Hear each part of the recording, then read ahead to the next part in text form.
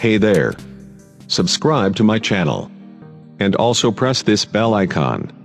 So you never miss any new updates cause whenever we upload new video you will get a notification on your phone. कि महाराष्ट्र में Congress Shiv Sena NCP ये सब मिलकर एक सरकार बनाने की कोशिश कर रहे हैं और अ, आपको पता होगा कि सबसे ज्यादा टाइम इसमें कांग्रेस ने लिया शिवसेना के साथ आने के लिए क्योंकि शिवसेना की शुरुआत एक बहुत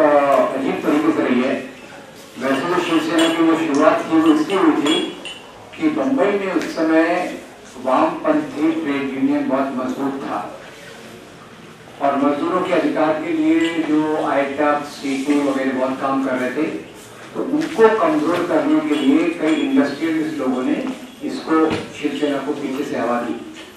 और बाद में चलते जब वहाँ की वहाँ इंडस्ट्रियलाइजेशन कमज़ोर हो गया तो शिवसेना एक शक्ति के रूप में उभरी।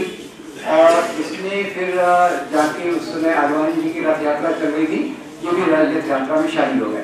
तो इन्होंने हिंदुत्व का एजेंडा अपना लिया और इसी बीच उसके पहले उन्होंने साउथ इंडियंस के खिलाफ ये किया कि साउथ इंडियन लोग मुंबई में क्यों हैं?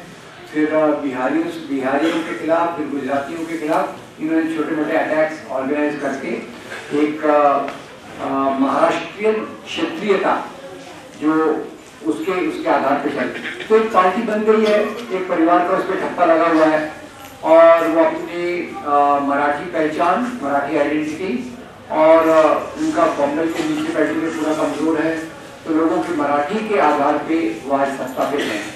और वो बीजेपी के साथ क्यों नहीं जाना चाहते क्योंकि पहले महाराष्ट्र में शिवसेना ये बड़ा भाई, भाजपा, छोटा भाई, ऐसा करके था।